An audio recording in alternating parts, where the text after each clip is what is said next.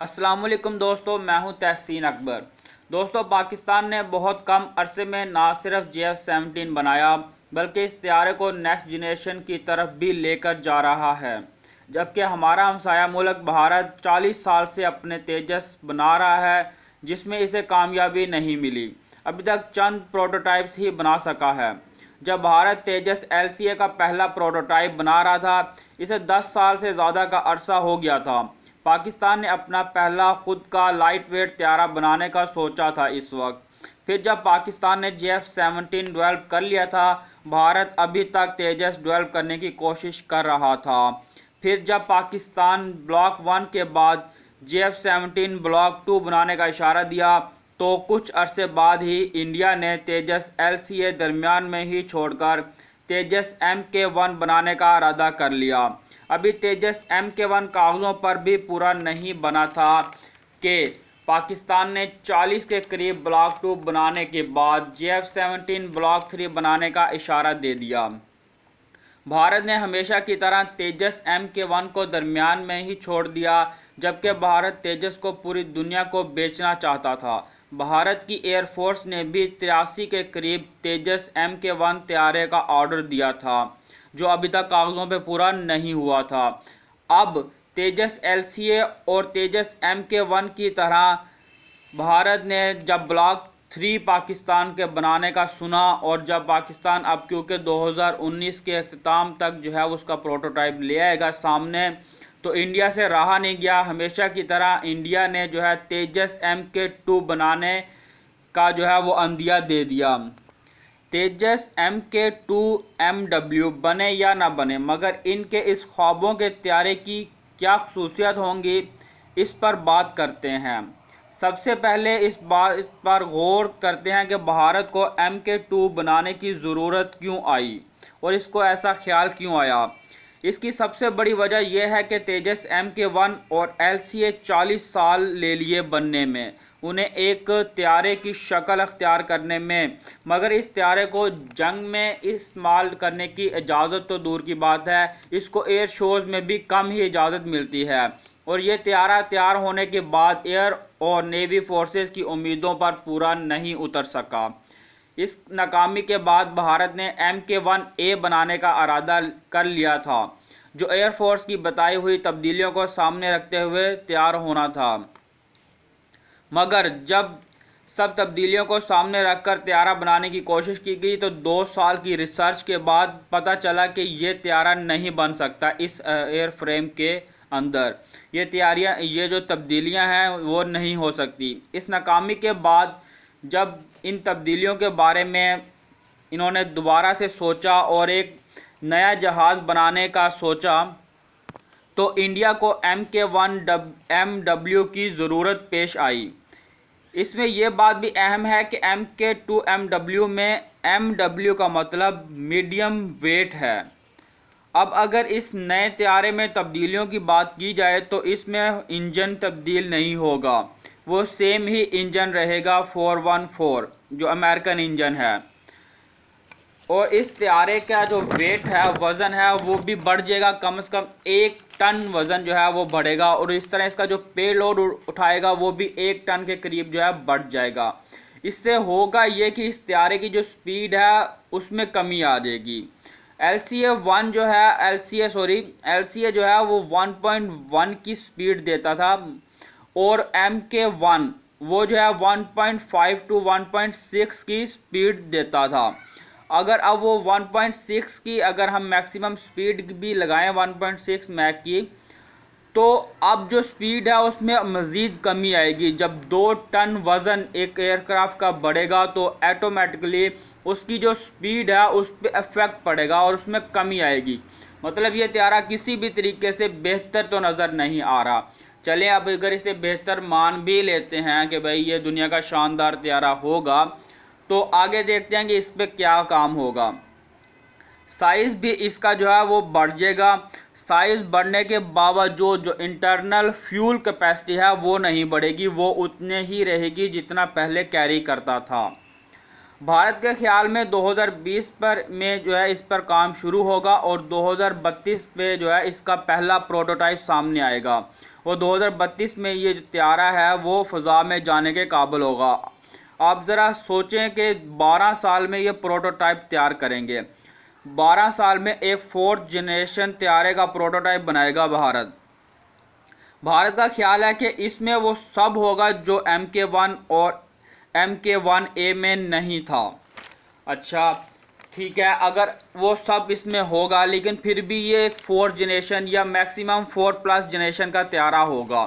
اور آپ سوچیں کہ دو ہزار بتیس میں اس کا پروٹوٹائپ آئے گا جب دنیا سکس جنریشن تیارے کی طرف جا رہی نہیں بلکہ پہنچ چکی ہوگی، کیونکہ اب سکس جنریشن تیارے کی ٹرے جو پیداوار تو نہیں کہیں گے، اس کو بنانے کی کوشش جو ہے وہ شروع ہو گئی ہے۔ چائنا، امریکہ جو ہے اس پہ کام کر رہے ہیں، بلکہ انہوں نے تو اپنی اسپیسیفکیشنز بھی بتا دی ہیں۔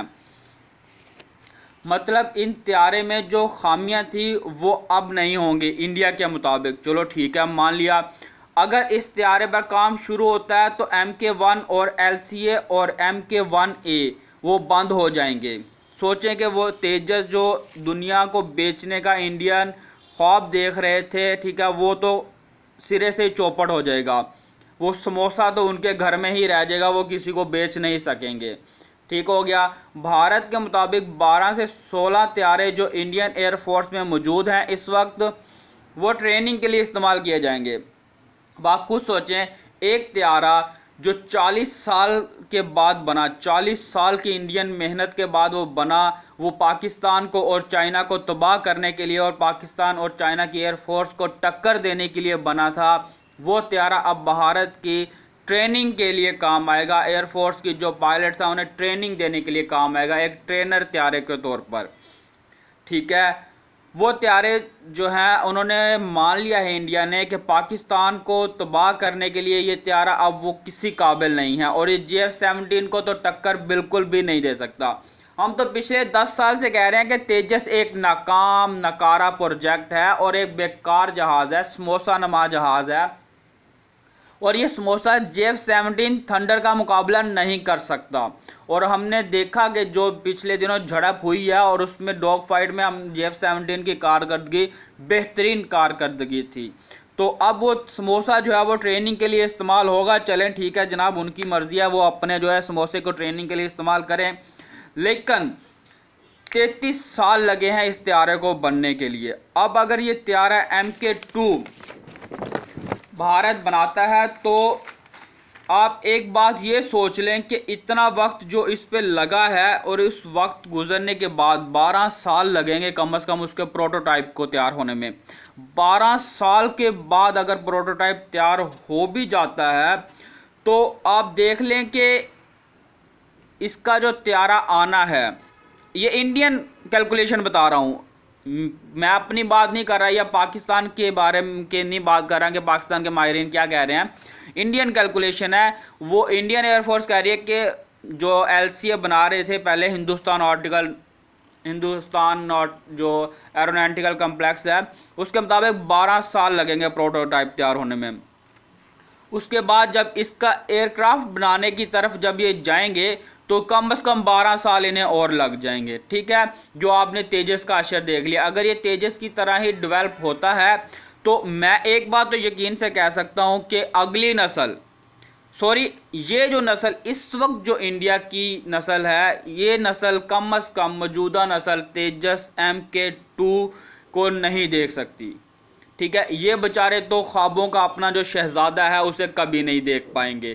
ٹھیک ہے؟ ہاں اگلی نسل اگر دیکھے گی بھی، تو آپ خود سوچیں کہ ان پہ کیا بیتے گی۔ جب دنیا سکس جنریشن ایئر کرافٹ پہ بیٹھے گی اور وہ ابھی فور جنریشن کے ایئر کرافٹ کو جو ہے نا، وہ جھولے دے رہے ہوں گے۔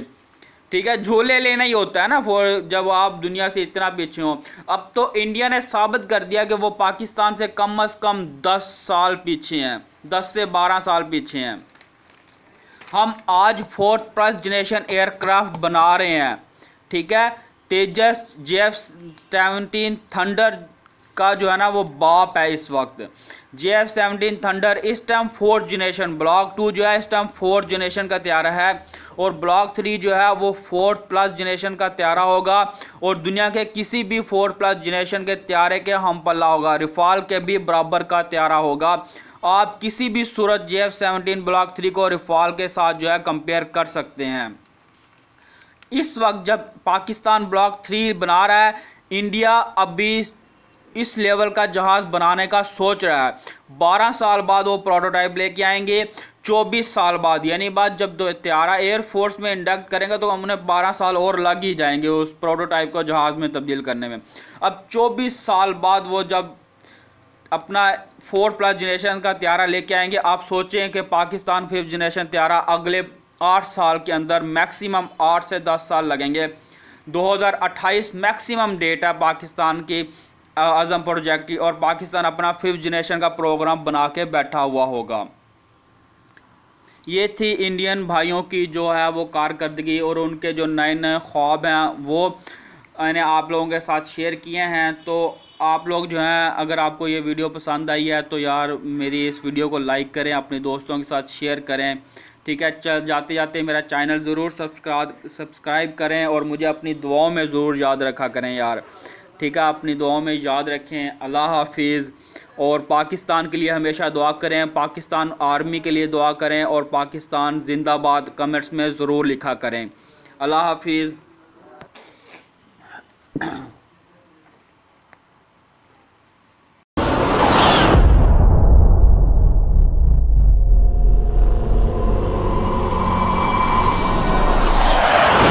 وردی میں چلتے پھرتے لوگ عام سے دکھتے ہیں۔ لیکن وقت آنے پر اپنا سب کچھ قربان کرنے پر راضی ہو جاتے ہیں۔ اسے نبھانا بہت مشکل ہے۔